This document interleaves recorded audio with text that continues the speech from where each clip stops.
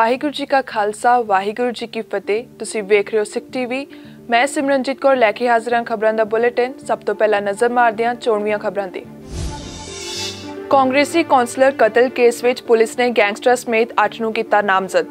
6 ਜੂਨ ਨੂੰ ਬੰਦੇ ਸੱਦੇ ਤੇ ਅਕਾਲ ਤਖਤ ਦੇ ਜਥੇਦਾਰ ਗਿਆਨੀ ਗੁਰਬਚਨ ਸਿੰਘ ਨੇ ਪੰਥ ਦੇ ਨਾਮ ਜਾਰੀ ਕੀਤਾ ਸੰਦੇਸ਼। ਕੱਲੂਕਾਰਾ ਦਿਵਸ ਨੂੰ ਵੇਖਦਿਆਂ ਪੁਲਿਸ ਵੱਲੋਂ ਗੁਰੂ ਕੀ ਨਗਰੀ ਵਿੱਚ ਕੱਢਿਆ ਗਿਆ ਫਲੈਗ ਮਾਰਚ ਕਿਸਾਨ ਜਥੇਬੰਦੀਆਂ ਦੀ ਹੜਤਾਲ ਤੀਜੇ ਦਿਨ ਰਹੀ ਜਾਰੀ। ਪਟਿਆਲੇ ਵਿੱਚ ਸਬਜ਼ੀ ਵਿਕਰੇਤਾ ਤੇ ਕਿਸਾਨਾਂ ਵਿਚਕਾਰ ਹੋਈ ਝੜਪ।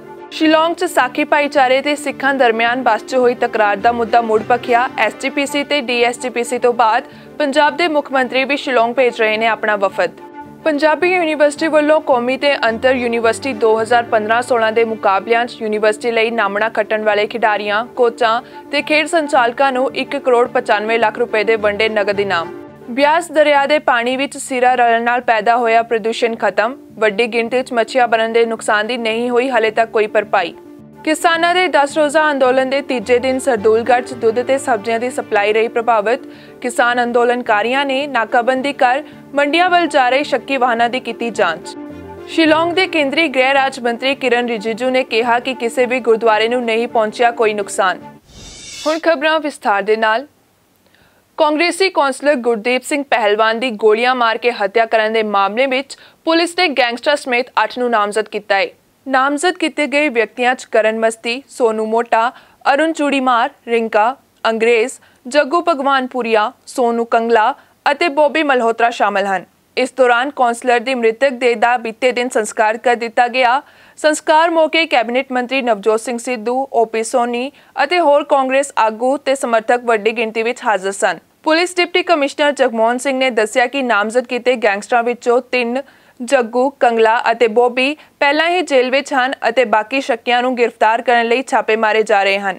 ਪਰਿਵਾਰਕ ਮੈਂਬਰਾਂ ਨੇ ਸ਼ੱਕ ਪ੍ਰਗਟਾਇਆ ਹੈ ਕਿ ਗੁਰਦੀਪ ਨੂੰ ਜੱਗੂ ਭਗਵਾਨਪੁਰੀਆ ਦੇ ਇਸ਼ਾਰੇ ਤੇ ਮਾਰਿਆ ਗਿਆ ਹੈ, ਜਿਸ ਦੀ ਉਸ ਨਾਲ ਪੁਰਾਣੀ ਦੁਸ਼ਮਣੀ ਸੀ ਅਤੇ ਉਸਨੇ ਕੌਂਸਲਰ ਨੂੰ ਜਾਨੋਂ ਮਾਰਨ ਦੀ ਧਮਕੀ ਵੀ ਦਿੱਤੀ ਸੀ। ਪੋਸਟਮਾਰਟਮ ਮਗਰੋਂ ਸਪਸ਼ਟ ਹੋਇਆ ਕਿ ਕੌਂਸਲਰ ਦੇ ਸਰੀਰ ਵਿੱਚੋਂ 8 ਗੋਲੀਆਂ ਦੇ ਨਿਸ਼ਾਨ ਮਿਲੇ ਹਨ। 6 ਜੂਨ ਨੂੰ ਬੰਦ ਦੇ ਸਦੇ ਤੇ ਅਕਾਲ ਤਖਤ ਦੇ ਜਥੇਦਾਰ ਗਿਆਨੀ ਗੁਰਬਚਨ ਸਿੰਘ ਨੇ ਕੱਲੂਕਾਰਾ ਬਰਸੀ ਸ਼ਾਂਤਮਈ ਢੰਗ ਨਾਲ ਮਨਾਉਣ ਦਾ ਸੰਦੇਸ਼ ਜਾਰੀ ਕੀਤਾ ਹੈ। ਜਥੇਦਾਰ ਨੇ ਸੰਗਤ ਨੂੰ ਸੰਬੋਧਨ ਕਰਦਿਆਂ ਕਿਹਾ ਕਿ ਪਿੰਡਰਾ ਵਾਲੇ ਦੀ ਬਰਸੀ ਮਨਾਉਣ ਤੇ ਕੱਲੂਕਾਰਾ ਦੇ ਸੰਬੰਧ ਵਿੱਚ 6 ਜੂਨ ਵਾਲੇ ਦਿਨ ਪਾਠ ਦੇ ਭੋਗ ਪਾਏ ਜਾਂਦੇ ਹਨ।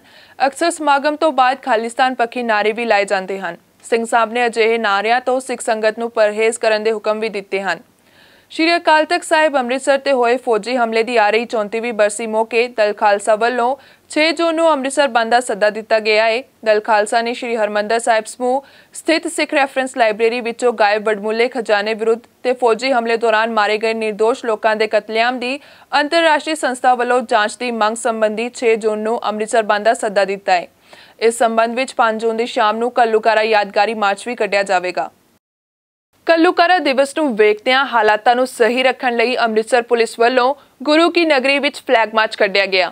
ਪੁਲਿਸ ਪ੍ਰਸ਼ਾਸਨ ਵੱਲੋਂ ਮਾਹੌਲ ਖਰਾਬ ਕਰਨ ਵਾਲੇ ਅੰਸਰਾਂ ਤੋਂ ਚੌਕਸ ਹੁੰਦਿਆਂ ਸ਼ਾਂਤੀ ਵਿਵਸਥਾ ਬਣਾਈ ਰੱਖਣ ਲਈ ਪੂਰੇ ਯਤਨ ਕੀਤੇ ਜਾ ਰਹੇ ਹਨ। ਦੱਸ ਦਈਏ ਕਿ ਦਲ ਖਾਲਸਾ ਤੇ ਅਕਾਲੀ ਦਲ ਅੰਮ੍ਰਿਤਸਰ ਨੇ 6 ਜੂਨ ਨੂੰ ਅੰਮ੍ਰਿਤਸਰ ਬੰਦ ਦਾ ਐਲਾਨ ਕੀਤਾ ਹੈ। ਇਸ ਦੇ ਨਾਲ ਹੀ ਸ਼੍ਰੋਮਣੀ ਗੁਰਦੁਆਰਾ ਪ੍ਰਬੰਧਕ ਕਮੇਟੀ ਦੇ ਪ੍ਰਧਾਨ ਗੋਬਿੰਦ ਸਿੰਘ ਲੋਂਗੋਵਾਲ ਨੇ ਸਿੱਖ ਜਗਤ ਨੂੰ ਅਪੀਲ ਕੀਤੀ ਹੈ ਕਿ ਸਾਕਾ ਨੀਲਾ ਧਾਰਾ ਵੇਲੇ ਸ਼ਹੀਦ ਹੋਏ ਸਿੱਖਾਂ ਦੀ ਯਾਦ ਵਿੱਚ 6 ਜੂਨ ਨੂੰ ਅਕਾਲ ਤਖਤ ਵਿਖੇ ਹੋਣ ਵਾਲੇ ਸ਼ਹੀਦੀ ਸਮਾਗਮ ਵਿੱਚ ਇਕਜੁੱਟਤਾ ਦਾ ਪ੍ਰਗਟਾਵਾ ਕੀਤਾ ਜਾਵੇ। ਇਸ ਦਿਹਾੜੇ ਨੂੰ ਸ਼ਾਂਤਮਈ ਢੰਗ ਨਾਲ ਮਨਾਉਣ ਦੀ ਅਪੀਲ ਕਰਦਿਆਂ ਆਖਦਿਆਂ ਭਾਈ ਲੋਂਗੋਵਾਲ ਨੇ ਕਿਹਾ ਕਿ ਇਸ ਭਾਵੁਕ ਸਮੇਂ ਮੌਕੇ ਕੌਮੀ ਮੰਥਨ ਜ਼ਰੂਰੀ ਹੈ ਤਾਂ ਜੋ ਸਿੱਖ ਕੌਮ ਦਰਪੇਸ਼ ਚੁਣੌਤੀਆਂ ਦਾ ਸਾਂਝੇ ਤੌਰ ਤੇ ਮੁਕਾਬਲਾ ਕਰ ਸਕੇ। ਉਹਨਾਂ ਕਿਹਾ ਕਿ ਇਸ ਦਿਹਾੜੇ ਤੇ ਪੜਕਾਹਟ ਪੈਦਾ ਹੋਣ ਨਾਲ ਸਿੱਖਾਂ ਦਾ ਅਕਸ ਖਰਾਬ ਹੁੰਦਾ ਹੈ ਕਿਸਾਨਾਂ ਦੀ ਹੜਤਾਲ ਦੇ ਤੀਜੇ ਦਿਨ ਹੀ ਇਸ ਦਾ ਅਸਰ ਦਿਖਣਾ ਸ਼ੁਰੂ ਹੋ ਗਿਆ। ਉੱਥੇ ਹੀ ਵੱਖ-ਵੱਖ ਥਾਵਾਂ ਤੇ ਕਿਸਾਨਾਂ ਤੇ ਸਬਜ਼ੀ ਵਿਕਰੇਤਾਵਾਂ ਵਿਚਕਾਰ ਝੜਪ ਵੀ ਵੇਖਣ ਨੂੰ ਮਿਲ ਰਹੀ ਹੈ। ਦਰਅਸਲ, ਬੀਤੀ ਰਾਤ ਹੜਤਾਲ ਦੌਰਾਨ ਪਟਿਆਲਾ 'ਚ ਏਸੀ ਸਬਜ਼ੀ ਮੰਡੀ ਵਿੱਚ ਆੜਤੀਆਂ ਸਬਜ਼ੀ ਵਿਕਰੇਤਾਵਾਂ ਦੀ ਅੰਦੋਲਨਕਾਰੀ ਕਿਸਾਨਾਂ ਵਿਚਕਾਰ ਝੜਪ ਹੋ ਗਈ, ਜਦੋਂ ਕਿ ਵੇਰਕਾ ਮਿਲਕ ਪਲਾਂਟ ਹਸਨਪੁਰ ਵਿਖੇ ਦੁੱਧ ਵਿਕਰੇਤਾਵਾਂ ਅਤੇ ਕਿਸਾਨਾਂ ਦਰਮਿਆਨ ਟਕਰਾਅ ਹੁੰਦਾ ਹੁੰਦਾ ਬਚਿਆ।